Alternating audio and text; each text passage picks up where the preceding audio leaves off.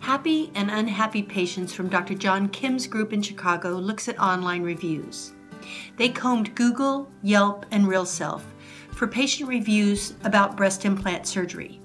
They wanted to see if there were any patterns in these reviews and what plastic surgeons can learn from them to improve patient care.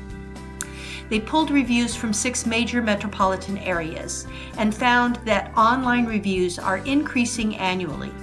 Indeed, many patients now look to online reviews to select a plastic surgeon.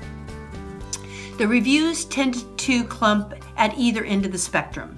The majority of the reviews were five star reviews, but there was a small spike among the one star reviews.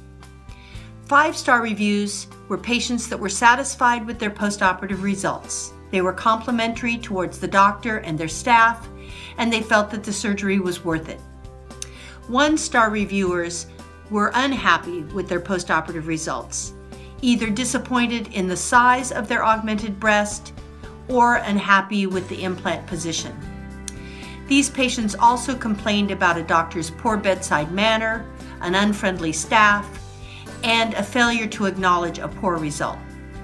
Interestingly, some one star reviews came from patients who never had surgery.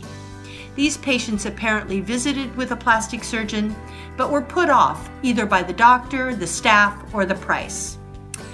These bad reviews point to the importance of that initial patient encounter.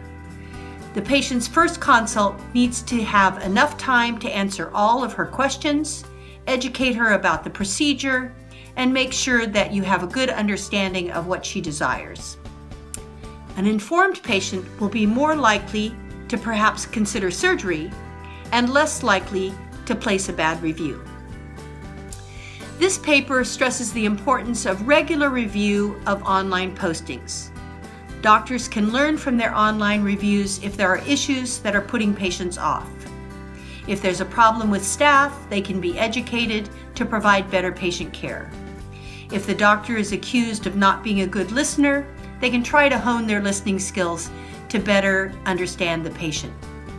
Patients who have complications or less than perfect results need extra special TLC to make sure that their concerns are heard and to help them through a more difficult process. Indeed, some of the five star reviews came from patients who had complications but felt that their doctor and the staff were very caring and very helpful.